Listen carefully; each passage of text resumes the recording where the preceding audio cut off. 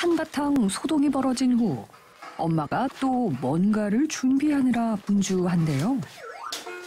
욕실 앞에 웬 천 하나를 깔아둡니다.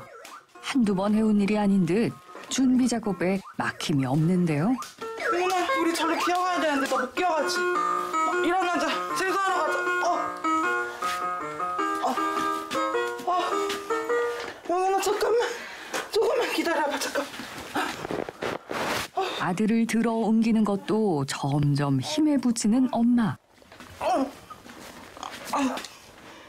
어, 허리 아파 잠깐만 영현아 조금만 도와줘 엄마 좀. 어. 어. 어. 세수할 거예요 잠깐만 있자 영현아 잠깐만 엄마만 엄마도 도와줘 어. 여기 세수하자 우리 애기 어 세수할 거야 어, 용현이 잘했잖아 어제도 잘했잖아? 한 번만 도와줘 알았지? 잠시 숨 돌릴 새도 없이 용현이가 떼쓰기 전에 속전속결 세수를 마쳐야 합니다. 응 수건 여기 줘줘. 아, 네. 돼 가만 있어 가만 있어. 용현아 일로 와 세수해야지 이리 와. 용현아 한 번만 도와줘야지. 씻고 밥 먹어야지. 용현아 한 번만 도와주세요. 엄마 한 번만 도와주세요. 일로 와. 일로 와 용현아. 어우 이렇게 너왜 이렇게 갑자기 오늘부터 힘이 세졌니 김용현? 어.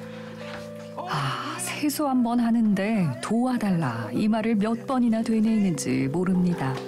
아야 아야 아이가 가만히 안 있어요. 그래도 오늘은 얌전히 있는 편이에요. 다른 때 같으면 진짜 저 많이 핥히고 막 그러거든요. 네, 막 도망가요 막. 땐 다시 끌어다 다시 데리, 데리고 데리고 막 몇 번을 반복해야 돼요. 아 몸이 다 다운되는 것 같아요. 아 힘들어. 아.